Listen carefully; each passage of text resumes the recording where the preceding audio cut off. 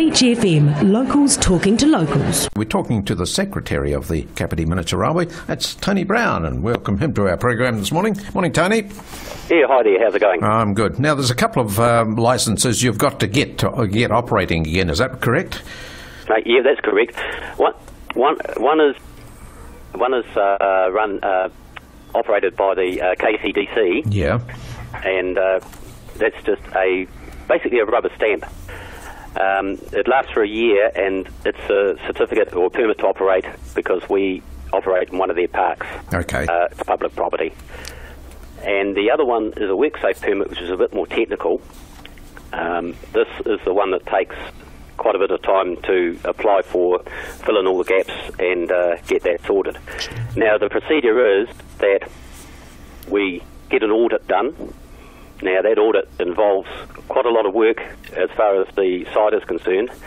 What we have to do is get a an auditor who's normally a member of MEANS, that's um, Modelling Engineering Association of New Zealand, uh, to come and inspect and um, and approve all the uh, settings in, in the um, in the area, Yes. like the buildings, tunnels, bridges, and there's also paperwork like all the warrant of fitnesses for the locos and the carriages, there's the driver's licenses and such like that. And um, that audit had been scheduled for some time, and it actually has been done and passed. So the next situation is to gather all the paperwork, which I'm doing as we speak Yes. and send that to MEAN's headquarters, which is in Dunedin.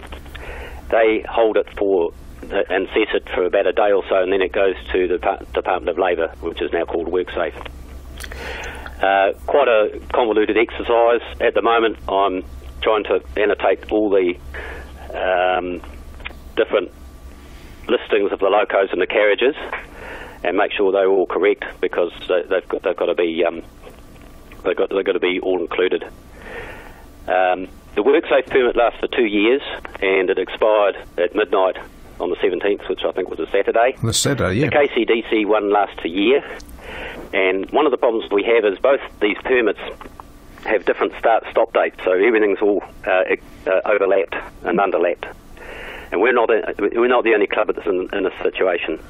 I believe the KCDC told us that we're the only permanent amusement device outfit in Kapiti. Yes. Most of the others are just little fairground things with Ferris wheels, and they're all temporary.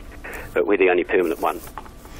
So, I, as a result of all this, I went in last week to ask if we could get the KCDC permit extended, and um, they said no because your WorkSafe permit expires midday Saturday, midnight Saturday, and uh, so that that was it. They did say you, they didn't say that you couldn't run, but they did say that you could be at risk of uh, being in breach of the Amusement Devices Act. Sure. Because you only So discovered this. decided not to Yeah, uh, for Sunday, and um, we completed the audit on Sunday, which was quite successful. So at this stage, um, I'm gathering all the paperwork, and uh, that'll be hopefully sorted today. Sure, because you only discovered this uh, KCDC permit. It expired when about October last year. Just when you because you have Yeah. only just taken over as a secretary, so you're doing That's all the right exactly things. Exactly right. Yeah, I'm new to it, so I haven't haven't gone through all this process before. No. Um, but in hindsight, I wish I hadn't gone down there because KCDC knew absolutely nothing Yes. about this. And I just wonder in hindsight if I hadn't gone down there, things would have just carried on as they had.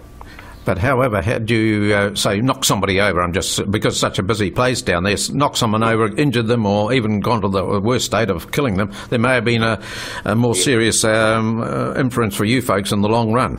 Well, KCDC is basically a rubber stamp. Yeah. Um, we, you know, we've got plenty of safety uh, records and, and processes in place, Sure.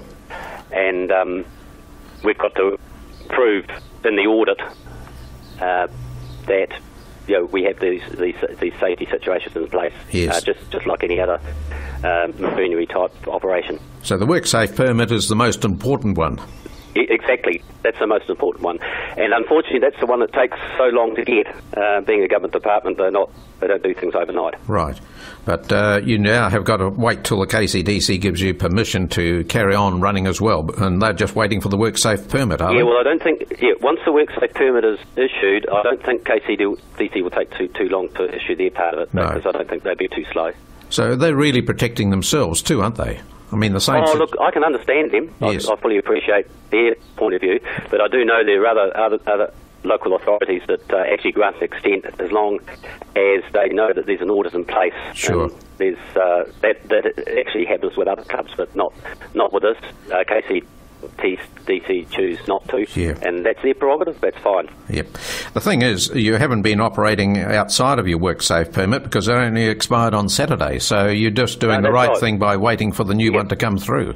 Yeah, unfortunately, because of the timing and the fact that I'm fairly new to the job, um, and this is the third time it's happened. Yes. Um, it's not it's not an easy hill to climb, so to speak, um, to get all this sorted uh, in a timely fashion. But one thing I've learned uh, when we get the certificate next time, we're going to put a big red sticker on it in the club rooms and say.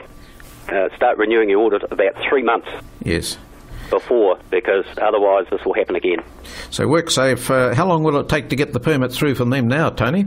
Well, it has taken up to six months. Oh my goodness. Um, they claim 20 working days. We'd Yep. like to think it's going to be a lot quicker because we do have a couple of events. We have Easter, of course, and a week later we've got what we call the Twilight Run, yes. And um, we'd like to think that we'd be able to run for that. But we'll just have to wait and see. Yeah. We'll just have to keep the pressure on them and um, see what we can do. Have you spoken to them at all? That's WorkSafe. Have you spoken to them? No, not as yet. Don't really want to speak to them until we uh, they get the paperwork from MEANS, um, which should hopefully be towards the end of this week. Right. So you've got a fair bit of paperwork still to go into WorkSafe, have you? Well, yep, I'm doing it now, but that should all be addressed by by the end of today. Goodness. I'll be I'll be posting it down there. So in actual fact, you're just tidying up the whole operation, which is um, more than needed by the sounds of it. Well, the auditor came and he generally didn't find anything wrong. All our uh, processes are in place. Um, it's just that there are a few things that we have to sort out, like we've got to take photos. Yes. I've got to go back down the club this morning and um, take certain very prescriptive photos of the locos and carriages. Um, and oh, yeah, we've got to send a check to WorkSafe, and um, Yeah, sure. there's two, two other forms which um, we have to fill in, which I've already done. So it's just yeah, it's just tidying up housework at the moment. All right, Tony. Well, we hope you get that certificate through fairly soon, so we can have the twilight run. Yeah, well, hopefully sooner than better. Yes. Um, just uh, uh, on the behalf of the club, I'd just apologise to everybody who may be inconvenienced um, over the next next week or so, or a couple of weeks, and uh, we'll just do the best we can. You've got to remember too that we're you know we're a bunch of old men in the club. The average age is about seventy. Yes. We are a voluntary group, and um, you know sometimes things uh, just don't go the way we want them to, and uh, this is one of those cases. So we have to apologise for that. I'm sure you'll have it all back on track if you excuse the pun before long, Tony. Yeah. Okay. Okay, much you, appreciated. m- Thank you for your time this morning. There we are, Tony Brown. He's the new secretary for the Kapiti Miniature Railway. 106.3 Beach FM.